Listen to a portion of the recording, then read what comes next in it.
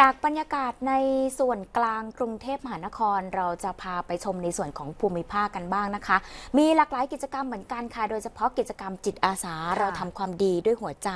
เนื่องในวันพ่อแห่งชาตินะคะ หน่วยงานราชการและประชาชนจิตอาสาต่างพร้อมใจกัน ออกมาร่วมพัฒนาพื้นที่ทั้งการสร้างฝายชะลอน้ำและการทำความสะอาดแม่น้ำคูคลองค่ะเราไปเริ่มกันที่จังหวัดลำพูน มีการจัดกิจกรรมจิตอาสานะคะ จัดขึ้นที่บริเวณคลองเหมืองลึกบ้านหัวฝาย หมู่ที่ 1ตำบลหนองช้างคืนอำเภอเมืองลำพูน โดยมีนายพงษ์รัตน์พิรมรัตน์ผู้ว่าราชการจังหวัดลำพูนเป็นประธานนำส่วนราชการทั้งภาครัฐ ภาคเอกชน ร่วมกิจกรรม รักษาและพัฒนาแหล่งน้ำคูคลอง รวมทั้งเพื่อเป็นการเตรียมป้องกัน และแก้ไขปัญหาน้ำท่วมในช่วงฤดูฝน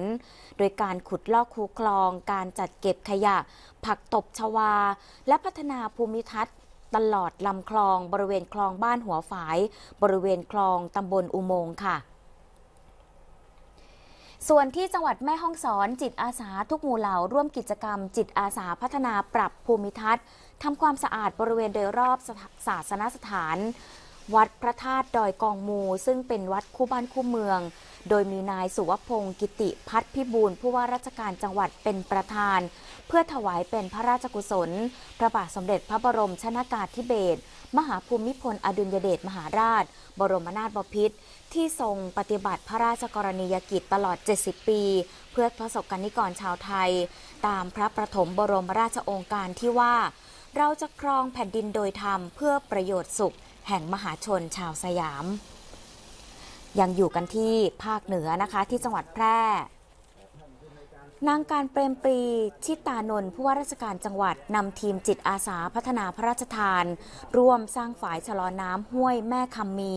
ซึ่งอยู่ที่หมู่เจ็ดตำบลตำหนักธรรมอำเภอหนองม่วงไข่ เพื่อเป็นการสร้างจิตสำนึก ให้ประชาชนทุกคนทุกฝ่าย เกิดความตระหนักและให้ความสำคัญในการสร้างความอุดมสมบูรณ์ และสร้างความชุ่มชื้นให้ผืนป่า ซึ่งจะสามารถป้องกันแก้ไขปัญหาไฟป่าหมอกควันได้อย่างยั่งยืนค่ะ ลงไปที่ภาคใต้นะคะ นายอัมพล พงสุวรรณ รองผู้ว่าราชการจังหวัดสงขลา ได้นำประชาชนจิตอาสา ในพื้นที่ตำบลน้ำน้อย ตำบลทุ่งใหญ่ อำเภอหาดใหญ่ ร่วมกันทำความดีปรับปรุงภูมิทัศน์ทำความสะอาดลำน้ำคูคลองน้ำน้อย และร่วมกันปล่อยกุ้งก้ามกราม 50,000 ตัวลงสู่ลำคลอง ร่วมกันปลูกต้นขนุน พร้อมกับปรับปรุงภูมิทัศน์โดยรอบบริเวณวิหารน้ำน้อย หรือวิหารพระพุทธมหามงคลบพิษ พื่อความเป็นระเบียบเรียบร้อย และความสวยงามค่ะ ซึ่งสถานที่แห่งนี้มีความสำคัญ